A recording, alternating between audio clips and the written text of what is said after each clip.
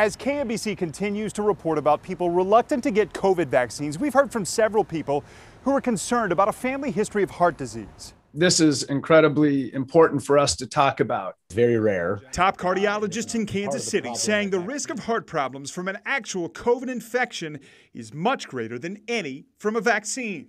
Myocarditis associated with the vaccine is is is exceedingly rare, you know, on the order of you know 0.0002%. COVID-19 itself causes myocarditis and likely 10x more than the vaccine does.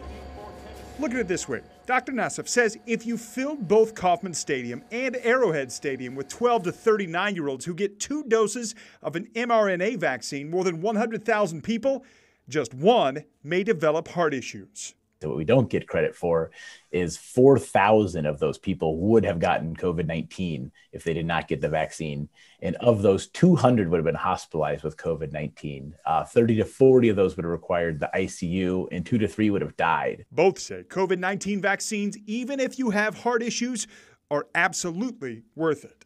Doctors here at the St. Luke's Mid America Heart Institute and the University of Kansas Health System say it is absolutely best to call your doctor or make an appointment if you have any concerns.